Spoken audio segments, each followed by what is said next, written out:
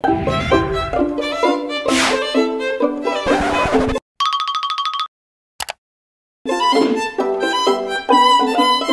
everyone, here's the tutorial a lot of you have been waiting for. This is the easy sheet music of Despacito. Yes, I have pronounced it correctly this time.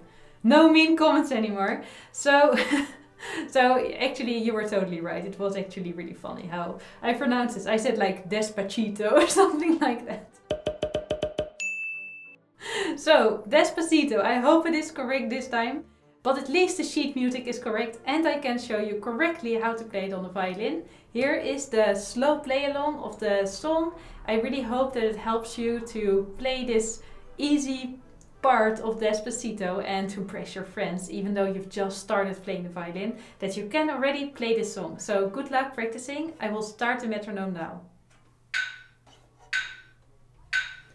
One,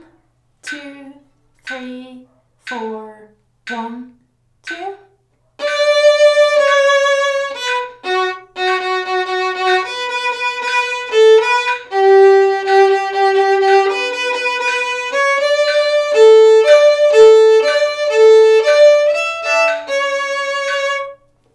That's it guys! This is it. It is this easy. So I am sure that you can do this on the violin yourself, especially after some practice. If you want to see my original tutorial, can, you can have a look at it.